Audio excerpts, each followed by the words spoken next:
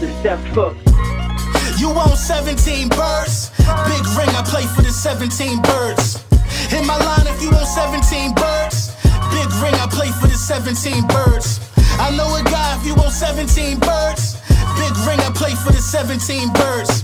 I know a guy if you want 17 birds. Big ring, I play for the 17 birds. Yeah, I'm from the 17th curb. Yes, sir. Yes, sir. Yes, sir. Yeah, yeah, yeah. Lil Brunson back at you with the back at you, and I am the best reporting on the Eagles. Before we get into the meat and potatoes, I gotta let you know that this video was brought to you by Print Champs. Big Print Champs in the building. Make sure you tap in, get your hurt season hats. Make sure you tap in, get your ski mask Howie shirts, get it all. I'm telling you right now, the Hurt Season shirt is available. With each purchase of your Hurt Season shirt, you get the Hurt Season hat with a discounted rate. Come on, I do that for y'all. I do that for the home team. You know what I'm saying? God bless who hating, man. Is streaming beautifully, man. The feedback is crazy.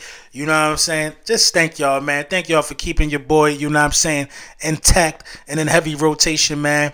Thank you, man. Make sure you stream that as well on all streaming platforms. Now let's get to these birds real quick. So, you know what I mean? a little practice happened today. You know what I mean? A lot of a lot of interviews.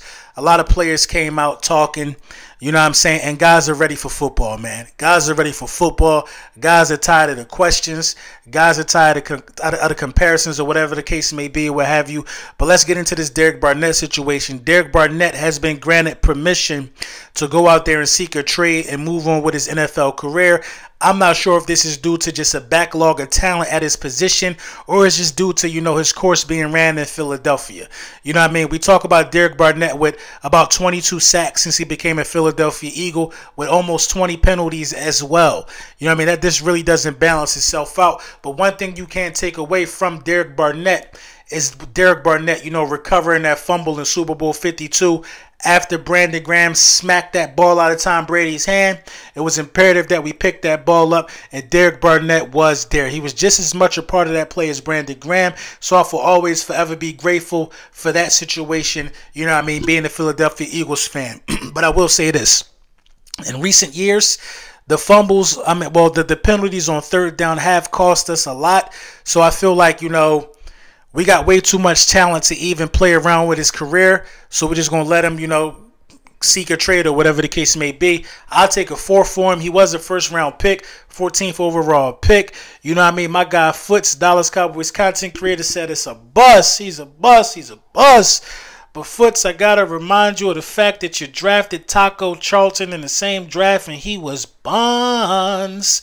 Complete and enamored buns. So we just gonna leave that alone right there. A lot of Eagles had a lot of interviews today, man. They addressed the media, and my dog AJ Brown is fed up with the comparisons. AJ, do you feel like there are fans kind of picking Team AJ, Team DeVonta? Do you sense that? Uh, not to even get into all that, but uh, you know, uh, I sometimes sometimes you see it, and, and I and I have seen uh, reporters just asking asking each of us questions, and I, I don't think you should do that. I think you should just enjoy both of us. You know, it's not about me and DeVonta. We're we're great together. We complement off each other really well, and like I said, that's that's another wide receiver one on the side of me, man. So I think everybody, the city of Philly or whoever, I think you should just appreciate both of us while you have.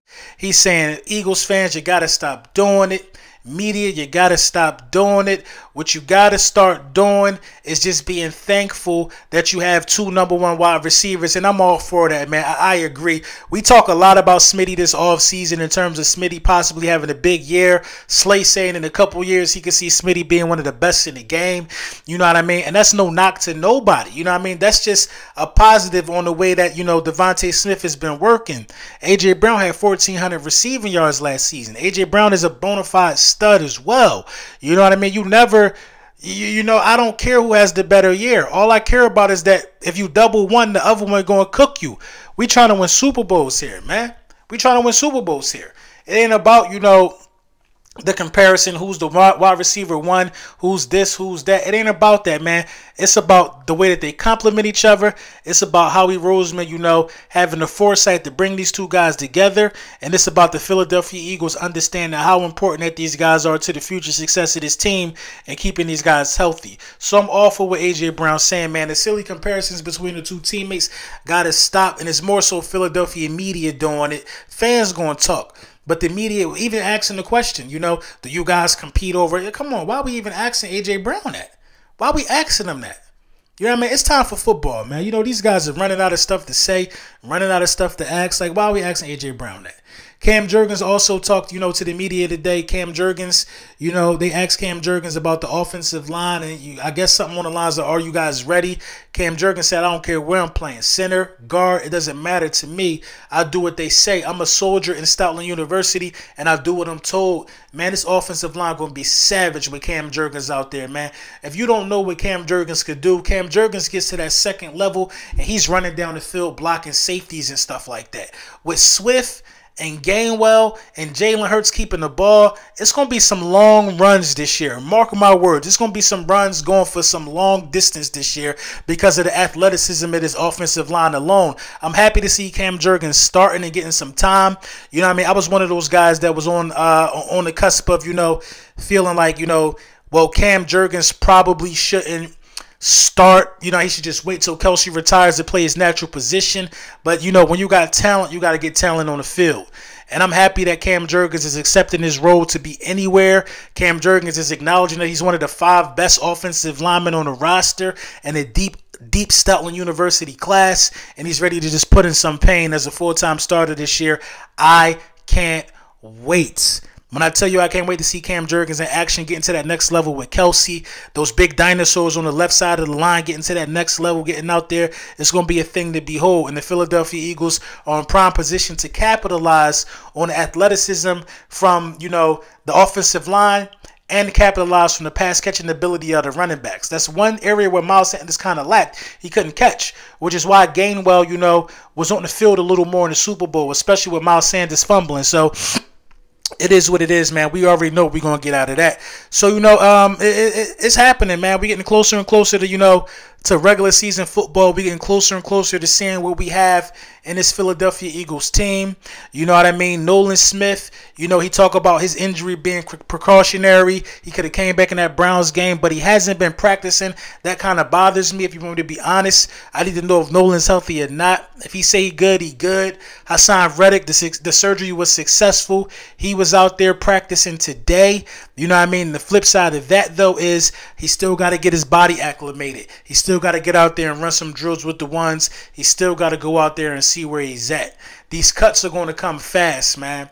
These roster cuts are going to come fast. Some predominantly good players are going to be released and, and, and just out there into the open market. You know, this is another area where Howie Roseman likes to feast. Howie Roseman likes to feast on things that you guys leave out there. You leave your leftovers out there for us this year. Howie Roseman's going to pick somebody up. But what are the real needs of this team going into this? You always could use you know, probably a veteran a veteran presence in the uh, safety room, a veteran presence in the linebacker room, maybe another defensive tackle. I'm interested to see what we do there. I would take a defensive tackle there as well, but you know, the sky's the limit for this team, and I've been saying this this all offseason, man. And in two weeks, you know what I'm saying, the New England Patriots are on the menu. Next week, we gearing up towards the keys to victory. It's going down, man.